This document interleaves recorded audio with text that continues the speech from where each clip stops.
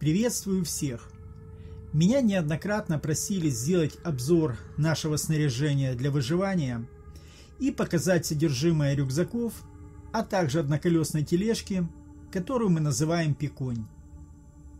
Сразу хочу сказать, что в один обзор такой объем информации никак не получится вместить, так как я не хочу просто показать, что у нас есть, а именно детально объяснить мотивацию, смысл – и почему выбор был именно таким.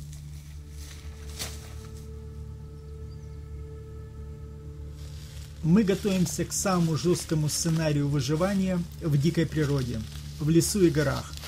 Если будем вынуждены экстренно эвакуироваться и бежать, имея с собой очень ограниченный по весу запас самого необходимого.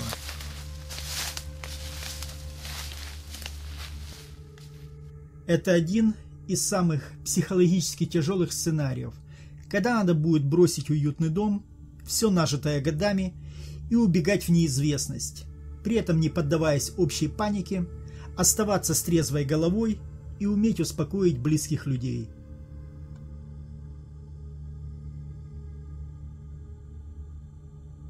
При таком драпе, когда скорее всего даже не будет времени для сборов, очень важно, чтобы все было заранее собрано – чтобы потом не метаться в панике, не зная за что хвататься, и не набивать рюкзаки первым попавшимся под руку ненужным хламом. Когда паника, мозги работают плохо.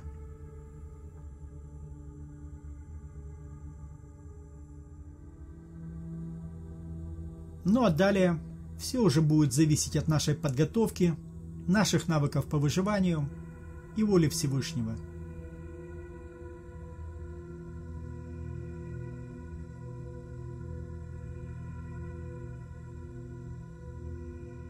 Если такого опыта нет, либо люди не готовы физически, разумнее оставаться на месте и никуда не дергаться. Потому что без подготовки, без опыта в лесу и горах делать нечего. Неподготовленному человеку там не выжить.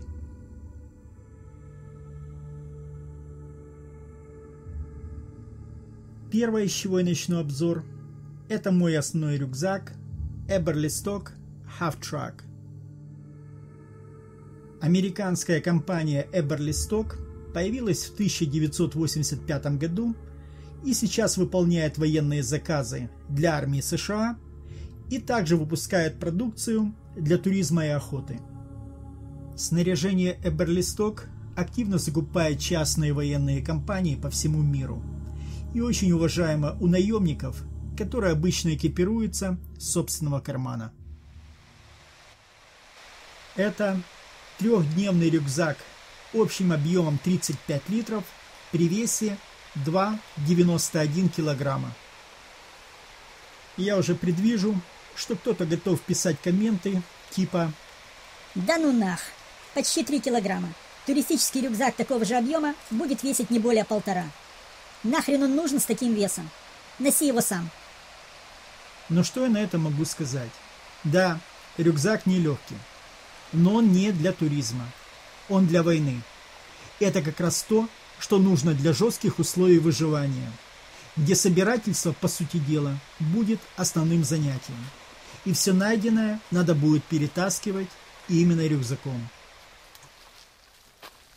Легкий и нежный туристический рюкзак не предназначен для такой эксплуатации и просто развалится, причем очень быстро – Поэтому я выбрал более тяжелый, но надежный и крепкий рюкзак, который выдержит самые жесткие условия эксплуатации. Как и его тезка, тягач Хафтрак времен Второй мировой войны, рюкзак был создан, чтобы таскать тяжести, быть надежным и удобным в использовании. Рюкзак имеет великолепную анатомическую заднюю часть. Вовнутрь встроена выгнутая поликарбоновая панель и алюминиевые опоры, которые в сочетании с системой ремней и глубоко вырезанными подушками обеспечивают превосходную поддержку и распределение веса при переноске тяжелых грузов, а также сохранение формы при любой загрузке. Шлейки регулируются по высоте, и это позволяет полностью подогнать рюкзак под себя.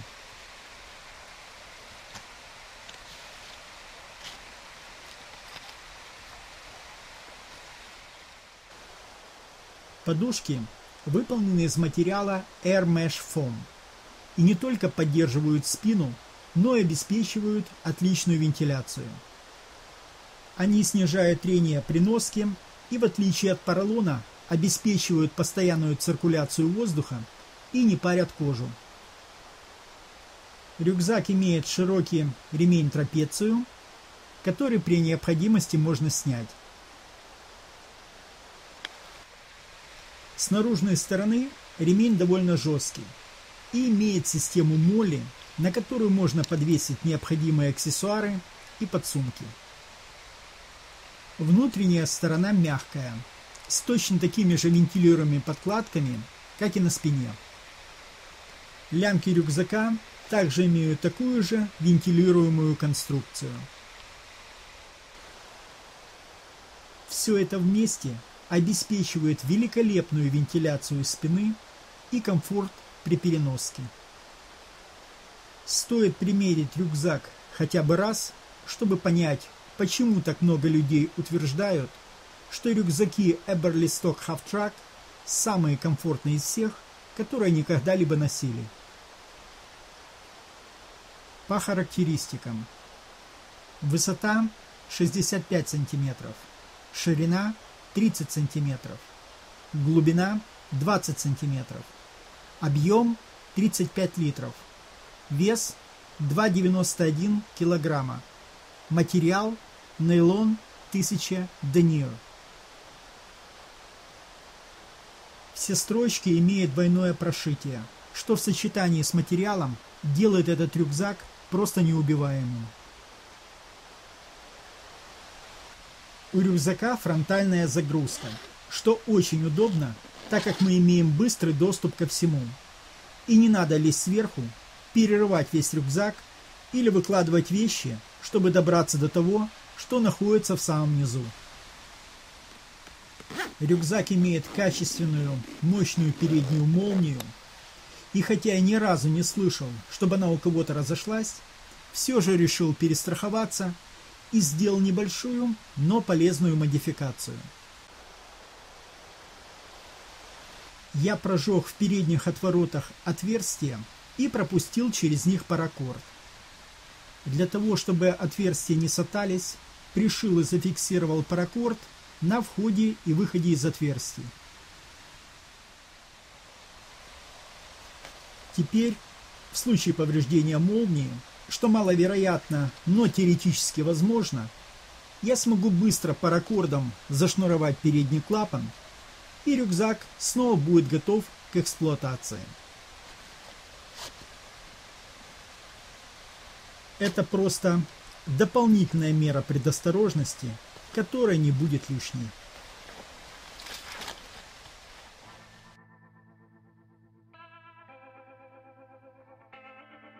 Еще одна немаловажная причина, почему я обратил внимание на этот рюкзак, он плоский, и центр его тяжести располагается близко к спине.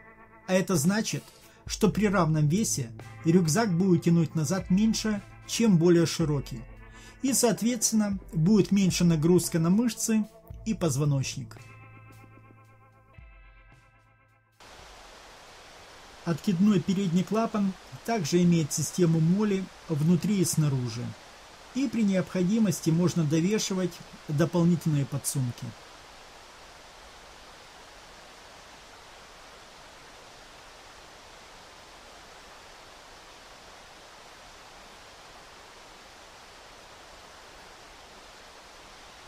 Снаружи клапан имеет плоский карман, который по размерам точь-в-точь совпадает с чехлом для малой саперной лопаты.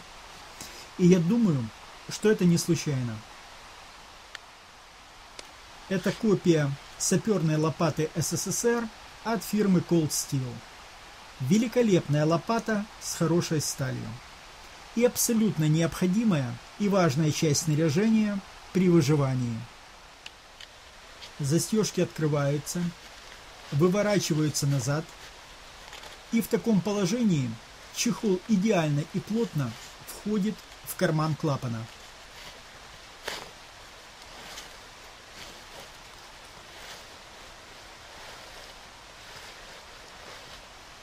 Ну и далее мы легко вставляем и извлекаем лопату. Причем она сидит достаточно глубоко и поджата верхней частью кармана. В таком положении лопата не нуждается в какой-то дополнительной фиксации, не болтается и никуда не выпадает. При этом рюкзак остается плоским, и такое размещение гораздо удобнее, если бы лопата находилась на ремне. Теперь по внутренностям. Основной отсек можно разделить перегородкой, которая поднимается и фиксируется на липучках. Это очень удобно, чтобы организовать укладку.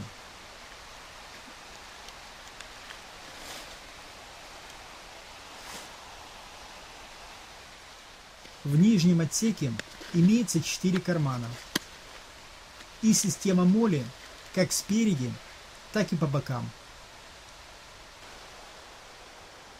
В верхнем отсеке имеется сетка на ремнях, которая имеет двойное назначение. Первое. Она была придумана, чтобы поддерживать армейскую радиостанцию, чтобы она была на месте и не давила вниз.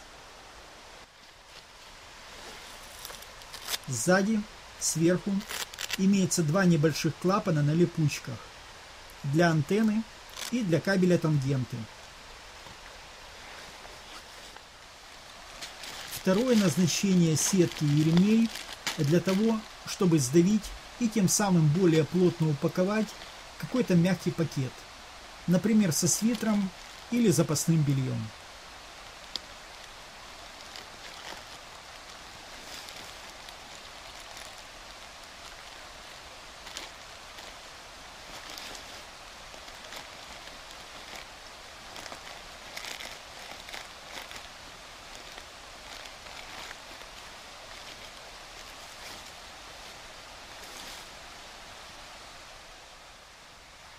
Также верхний отсек имеет небольшие боковые карманы для чего-то небольшого, но важного. Например, фонарик или компас.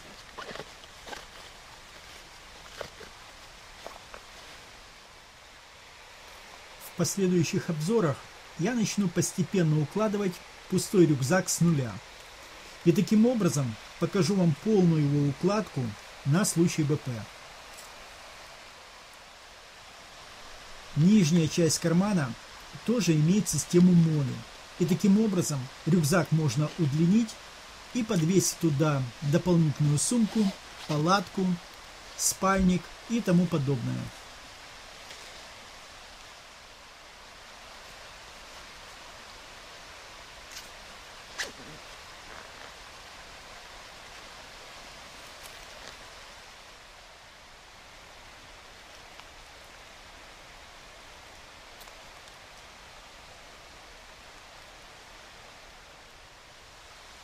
Снизу рюкзака имеется еще один карман на молнию, внутри которого находится чехол от дождя. Чехол позволяет накрыть рюкзак вместе с дополнительными наружными подсумками.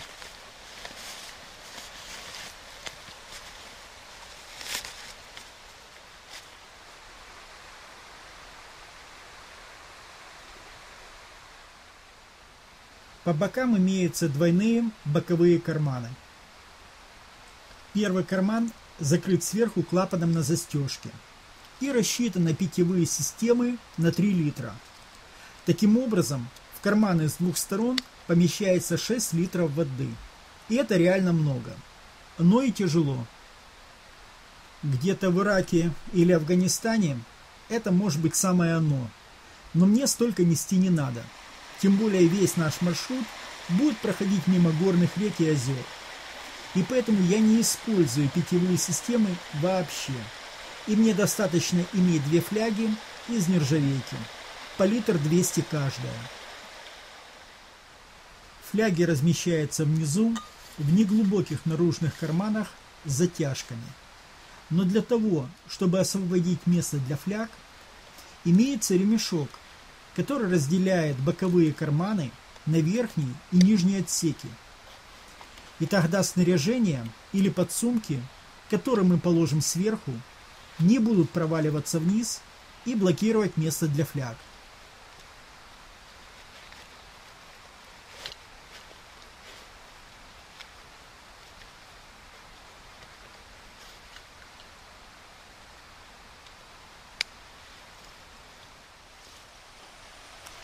Также боковые карманы имеют еще одно отделение, которое не закрывается сверху и которое предназначено для чего-то, что будет торчать снаружи.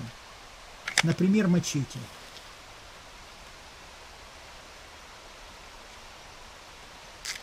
Эти карманы особо удобны для короткого тактического помпового ружья с пистолетной рукояткой.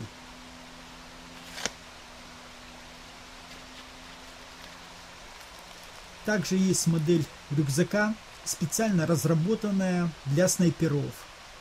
Stock Phantom, которая имеет абсолютно все то же самое, что и Half-Track, но в которой еще добавлен модуль для винтовки.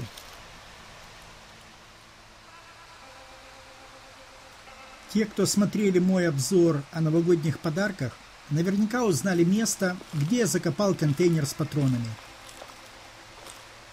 вот тут он закопан, и он под охраной. Я не шучу. Это безобидное на вид растение на самом деле очень опасно. Это и есть poison oak, то есть ядовитый дуб.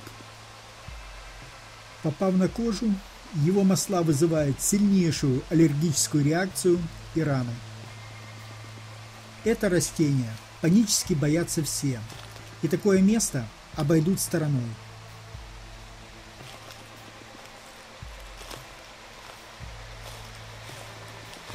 Внизу горная речка, источник чистейшей воды и форели.